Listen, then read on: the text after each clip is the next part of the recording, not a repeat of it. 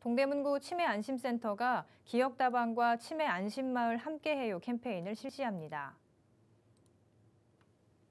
기억다방은 센터를 이용하는 경도 인지장애 어르신들이 일일 바리스타로 참여해 원두커피와 매실차, 오미자차 등의 음료를 무료로 제공합니다.